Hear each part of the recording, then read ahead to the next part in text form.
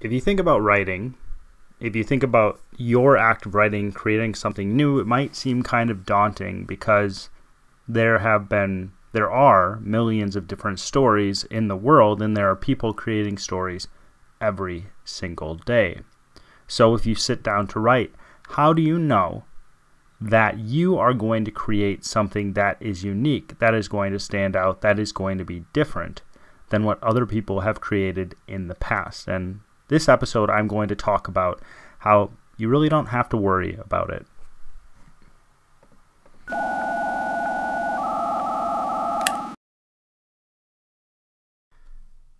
Welcome to How to Write Good. I am your host, Daniel Poppie. You can find out more about me at danielpoppie.com. If it is your first time here, how to Write Good is a writing podcast that seeks to find principles and advice that can be applied across a broad range of writing situations.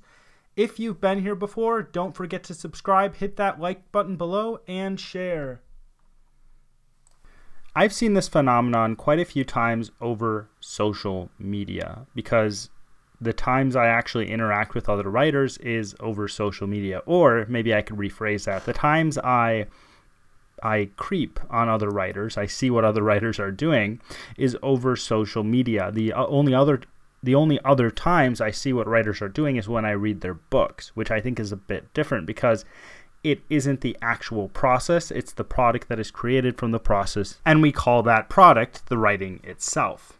But I've seen this a handful of times. I've seen a lot of writers who come up with ideas and Actually, I, I, saw a thread of this the other day. I can't remember which social media platform it was on, but one writer said, Oh, you know, I was writing a book, and then suddenly I turned on this film, and I was like, Oh no, I'm going to have to uh, rewrite the entire book. Or I was talking to a friend of mine about what my book is about, and then I, my friend is like, Oh, that sounds like this movie.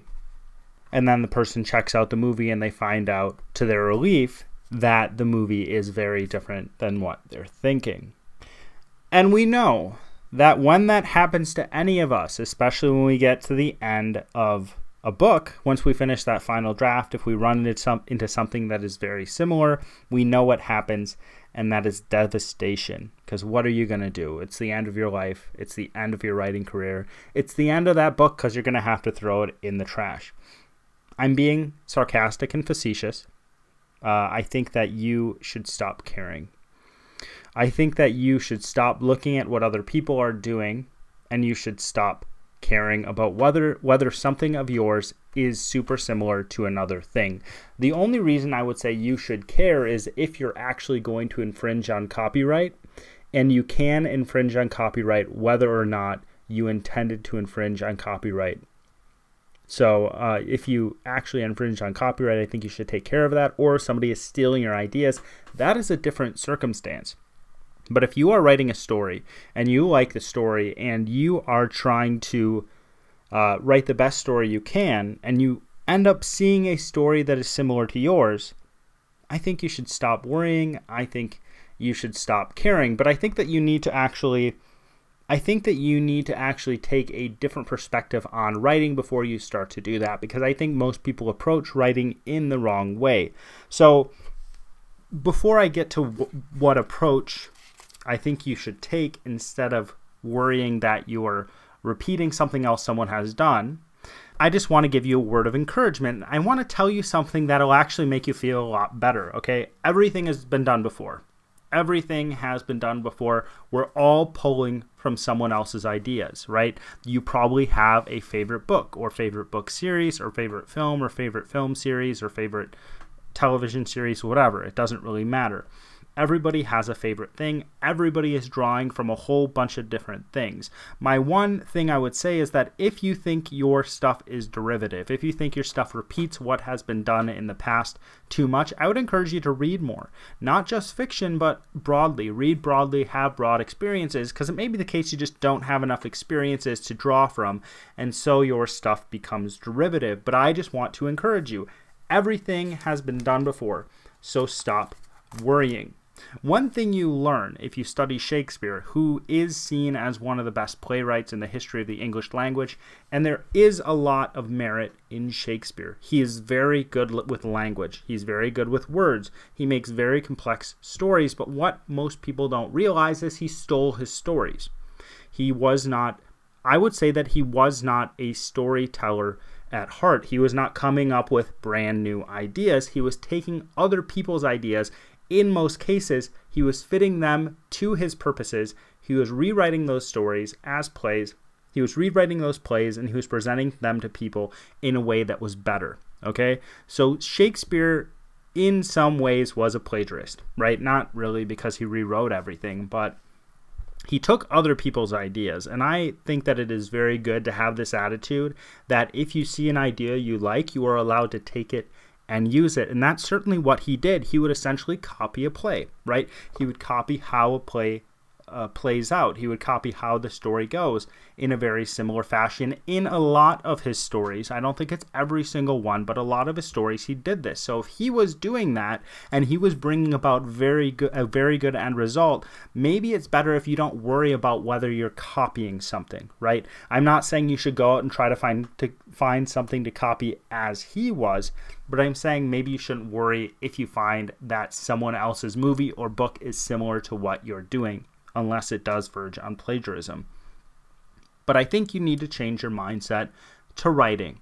And I think if you do change your mindset toward writing and toward storytelling and toward developing ideas, then I think you will actually have this happen less. So, why does this happen to people? Why does this happen where people go in and they, they have the story? They're like, oh, this is a great idea. I love this idea and then they find a story and they're they're like, "Oh no, man, that stinks. This is the worst. I, I this is just I, this has been done before." What I've seen time and time again is everyone is looking for the thing that will break the internet or break the writing world or break the literary world. They're looking for ideas that are that have never been done before. They're like, "Oh, you know, what if we had this um what if we had Abraham Lincoln?" And he was a vampire hunter. You know, that has been done. And the reason why that was done is because nobody else did it. I would say it's similar to keyword stuffing in SEO. So if you ever deal with any SEO, which you might run into, when you deal with SEO, uh, you try to get as many keywords connected to what you're writing so that it pops up on search engines, right? You have to you have to optimize the keywords, you have to optimize how they're used, you have to optimize where they are in the text and the title, etc. And what you can do is you can actually be like, well, you know, I'm gonna I'm gonna take a strategic approach to this, and instead of having a few different keywords, I'm gonna use all these different keywords, and then if I use all these different keywords, they'll show up more, so more people will see them. And I think what happens to a lot of writers, uh, especially when they're younger, is that they do this thing that's similar to keyword stuffing. They actually they try to reach out for an idea. They try to reach out and they try to find the most original idea possible. They're like, man, this is the nobody else has thought about this. When in reality, somebody probably has, right? Um, there are 7 billion plus people on the planet. And if you thought of an idea, it is likely someone has thought of it before. I think it's very likely someone's thought of it before. So I think that instead of trying to find that best idea, trying to find that idea that will break the internet, trying to find that uh, that conglomeration, that uh, I can't remember the exact word, that combination. That's what I mean. That combination of different ideas that you can bring together to create something extremely unique. I think that you need to look at life and find those things that are important and find find those things that move you right? Uh, find those things in your life. Find those stories that you want to tell that aren't just that aren't just combinations of things that aren't made up out of whole cloth that are actually connecting to you, connecting to you emotionally, something that you want to read, right? Think about all the books you've loved throughout your life. They are books that aren't they don't just have ideas that are unique. They are books that have heart to them. They are books that have great characters. They are books that write characters well, that make you connect to characters and make you fall in love with those characters. And the extra things, the things that make the book unique, that are like the little bits and pieces or the premise or whatever it is, those things are important. But the core, the characters, are more important than those things. And if you don't have that core, then then those extra things aren't going to matter. Instead of just instead of worrying about originality originality, excuse me, I'd just to I just like to encourage you to write write like crazy because writing more will get more of your work out and some of your work might be horrible, but you're going to get to a point where you get better and better and better at writing and then you're going to be phenomenal.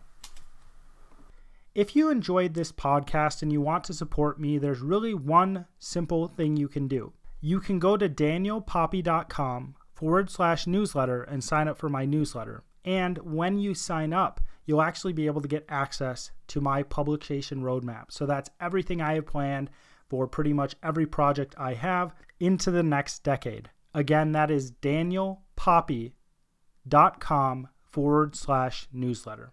You can also find the link below.